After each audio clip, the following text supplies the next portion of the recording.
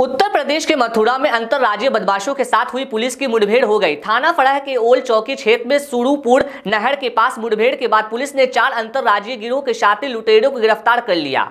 जानकारी के अनुसार अवैध असलहों से लैस होकर सुनसान स्थानों पर राहगीरों को लूटने का काम करते थे जिस पर संयुक्त कार्यवाही करते हुए थाना फड़ा पुलिस से एसओजी व सर्विस लांस टीम ने लुटेरों को गिरफ़्तार किया है। वहीं पुलिस और बदमाशों की मुठभेड़ में पुलिस की, की गोली लगने से दो बदमाश घायल हो गए जबकि एक अन्य अंधेरे का फ़ायदा उठाकर फरार हो गया। पुलिस ने बदमाशों के कब्जे में दो बाइक व दो तवंचा व चार ज़िंदा कारतूस बरामद किए हैं। दिनांक 20 मई को थाना फरा के ओल चौकी क्षेत्र में कुछ बदमाशों द्वारा एक मोटरसाइकिल सवार के ऊपर फायरिंग करके उसकी मोटरसाइकिल छीन ली गई थी, जिसमें उसके हाथ में गोली लगी थी। इस घटना के अनावरण के लिए हरा पुलिस, सर्विलांस की टीम और एसओजी की टीमें लगी हुई थी। आज ज़रिए मुखबिर ये सूचना प्राप्त हुई कि कुछ बदमाशों का मूवमेंट इस रास्ते से होने वाला है।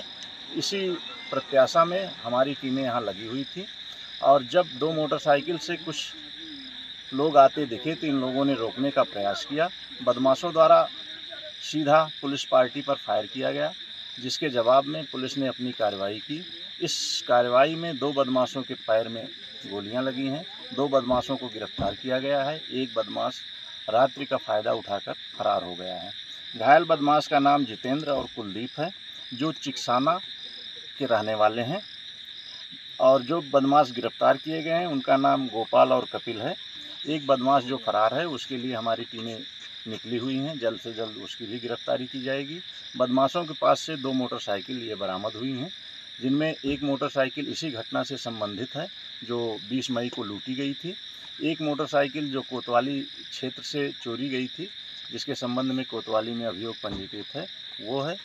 इनके पास से दो अवैध शस्त्र भी बरामद हुए हैं और कुछ कारतूस भी बरामद हुए हैं। हमारी फॉरेंसिक टीम आ गई है।